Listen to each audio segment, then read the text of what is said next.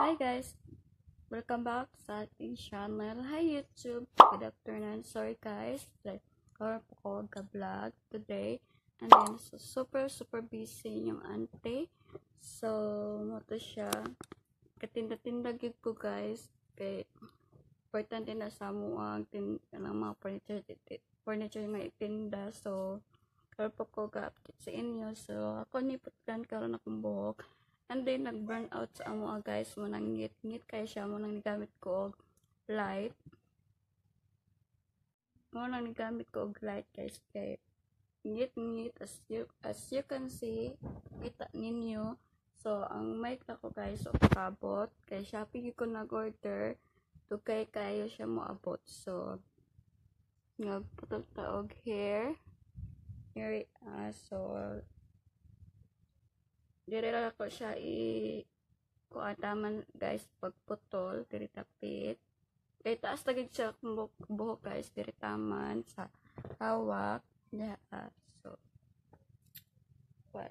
Magtan ano lang mo sa ako ah, guys ang pagputol sa pag DIY nga pagputol sa buhok. So mo siguro title as you can see guys tatanan niyo sa title DIY haircut may haircut sa akong buhok. So, Umot lang sa siya. go.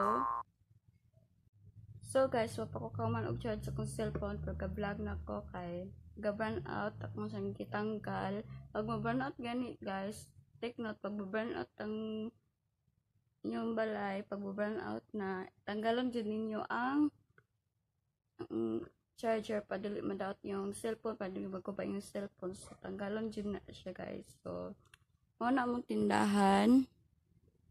Na siya mga may mga bitay-bitayan.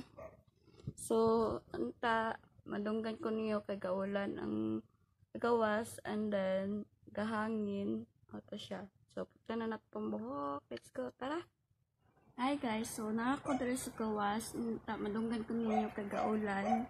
Nakako diri sa gawas ka kong buhok kay burnout ngit-ngit man dito sa sulod kay burn out man. So dahil na lang ta sa gawas na dito sa akong buhok and then ito na siya kamaon mo na siya guys? As na buhok.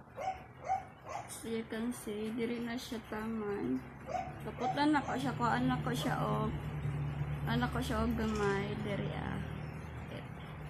So no. Maon sa na ko siya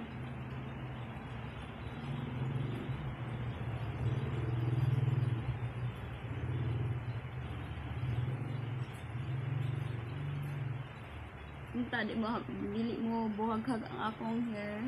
So, kasi guys, nag-ulan sa gawas. Kita ninyo. Siya?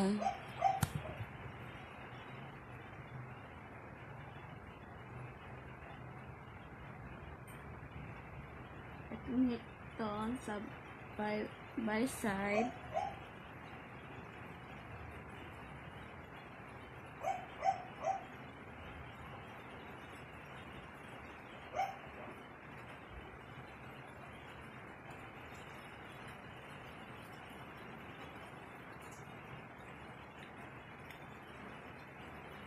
Nilalak sa ubos.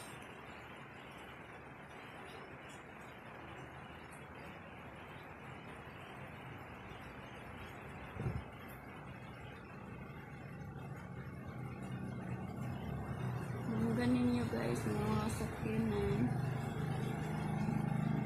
Mga sakinan, mga labay. Kaya magig ko diri sa gawas. Namagig ko diri sa gawas guys kay pan out man dito ngit-ngit diri ana na para makita ninyo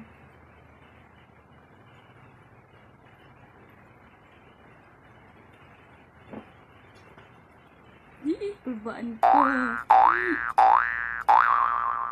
So, kibugkot na ako siya. Tiritaman. So, nana siya ay kunti. kunting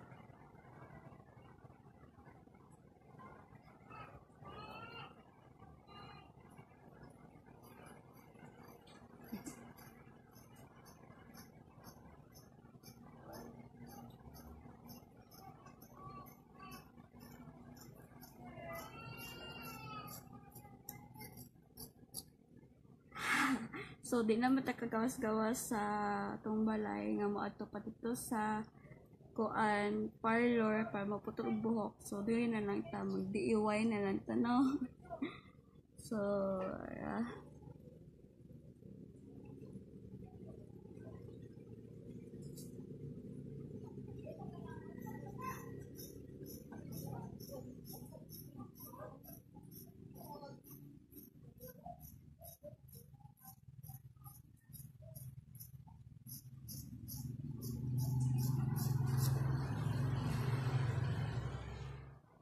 Ano siya akong buhok karon.